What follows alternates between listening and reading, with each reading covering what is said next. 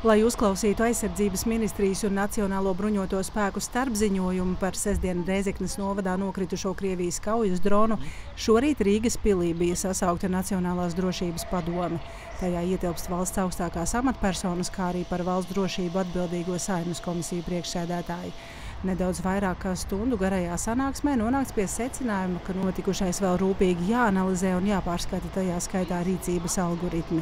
Mēs nevaram šobrīd Pilnīgi noteikti, un tas būtu godīgi tikai pateikt sabiedrībai, izslēgt, ka varbūt vēl kādu reizi kaut kas tāds nenotiek. Un tad mēs runājam arī par to, kādā veidā vienkāršot arī nu, šos rīcības algoritmus.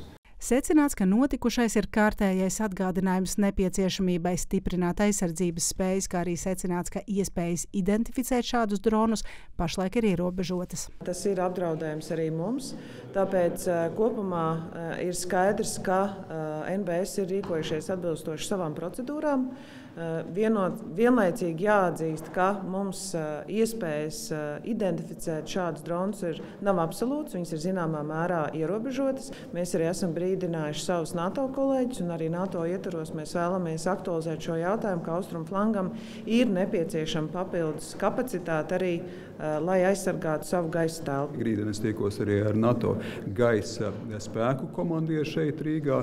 Tā kā jā, mums ir jāturpina arī pārliecināt mūsu sabiedroto to, ko mēs arī darām, par to, ka šeit ir jāstiprina arī NATO spēja klātbūtne, kolektīvās aizsardzības spējas tieši pret gaisa aizsardzībā. Saimas Nacionālās drošības komisijas vadītājs atzīst, ka pašlaik uz robežas trūkst aizsardzības spēju, kas gan pakāpeniski tiek uzlabotas.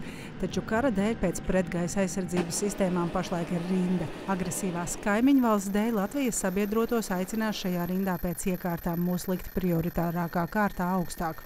Ko mēs darīsim? Mēs, protams, tās spējas, kas ir mums kopumā Latvijā, mēs izvietosim jau tuvāk robežai.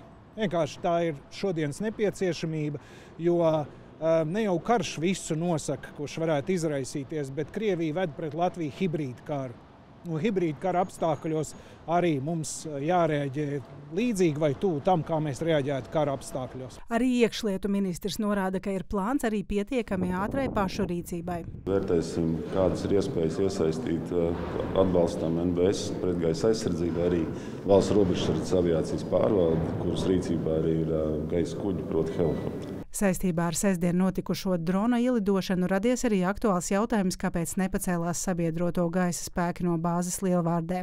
Valsts prezidents norāda, lēmumu pieņem NATO komanda vadība. Šajā gadījumā nepiepildījās atsevišķi elementi algoritmā. Kā mēs to varam mainīt? Tas ir tas, ko mēs arī aicinājām, un mūsu vēstnieks šo jautājumu šodien cēlīja NATO padomē, ka ir jāprecizē arī kopējā NATO rīcība politika šajās lietās. Piebildīšu, ka pie šodien runātā Nacionālās drošības padome plāno atgriezties vēlreiz aptuveni pēc mēneša. Zandozo Balodīvans Milos, Latvijas televīzija.